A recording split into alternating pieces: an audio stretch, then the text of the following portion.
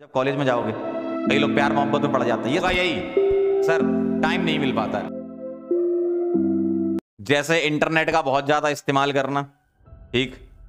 बैठ के टाइम को खराब करना नेगेटिव थॉट्स को अपने दिमाग में लाके एकदम समय किल कर देते हो आप।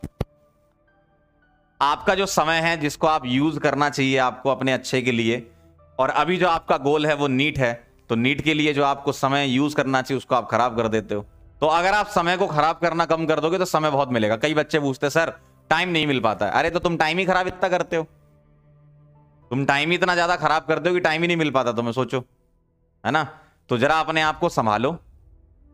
है ना? टाइम खराब करना कम करोगे तो अपने आप ही आपको टाइम मिलेगा। अच्छा कैसे ओवरकम कर सकते सर, आपने बता तो दिया कि हाँ टाइम खराब करना कम कर देंगे तो हमें टाइम मिलना चालू हो जाएगा। ठीक है? हम डिस्ट्रैक्शन को दूर कर देंगे नेगेटिव थॉट्स को दूर कर देंगे, लेकिन कैसे कर सकते हो वो चीज़? उसके लिए बहुत इंपॉर्टेंट है, पहला पॉइंट देखो क्या लिखा है।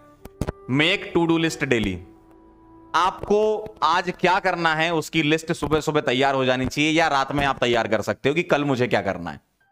लेकिन दिन की शुरुआत रैंडमली नहीं होनी चाहिए आपकी। आप यही करते हो ना, यही करते हो ना?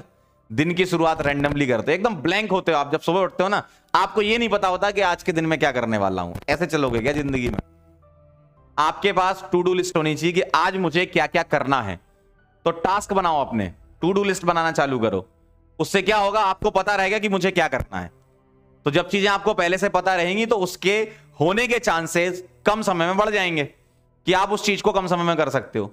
और एक होता है रैंडमली चले जा रहे हो, सुबह उठे, बढ़िया। चाय नाश्ता हुआ और बस, शुरू हो गए। उसके बाद क्या करना पता नहीं। ठीक है तो आपको अपनी ज़िंदगी में अगर अच्छा करना है तो उसके लिए बहुत इंपॉर्टेंट होता है टू डू लिस्ट और टू डू लिस्ट जब आप बना रहे हो तो आपकी प्रायोरिटी एकदम सेट होनी चाहिए लाइफ में क्या करना है। आपकी प्रायोरिटी एकदम सेट होनी चाहिए। अब प्रायोरिटी सेट होने से क्या मतलब है यहाँ पर? अभी आपके पास, आपकी ज़िंदगी में सिर्फ़ एक ही गोल है, जो सामने दिख रहा है, वो दिख रहा है नीट का। 2023 नीट का एक पेपर है, जो आपको अच्छे से देना है, उसी के लिए हम सब तैयारी कर रहे हैं। उसी के लिए हम सब तैयारी कर रहे हैं।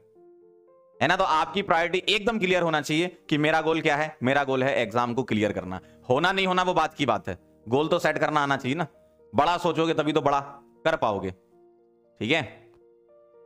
अभी आपकी प्रायोरिटी कुछ और नहीं होनी चाहिए। होता है ना, कई लोग वीडियो गेम खेलने लगते हैं, कई लोग प्यार मोहब्बत में पड़ जाते हैं। ये समय थोड़ी है अभी। आएगा उसका भी समय जब कॉलेज में जाओगे। बहुत मौके मिलेंगे। सारा काम करने के।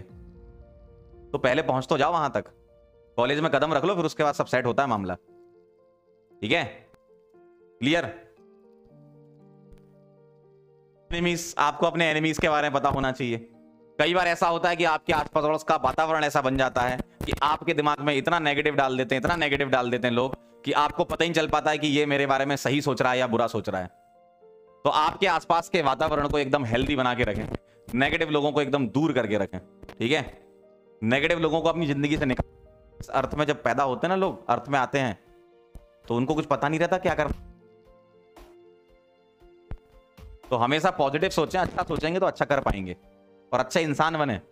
तैयारी वैयारी तो सबसे पहली चीज़ तो जो इंपॉर्टेंट है कि आप यहाँ पर आए हो तो एक अच्छा इंसान बनना है आपको यहाँ पर। ठीक है? क्लियर है? तो हमेशा नेगेटिव लोगों को अपनी ज़िंदगी से निकालें तभी आप इन सब डिस्ट्रैक्शन से दूर हो पाएँगे।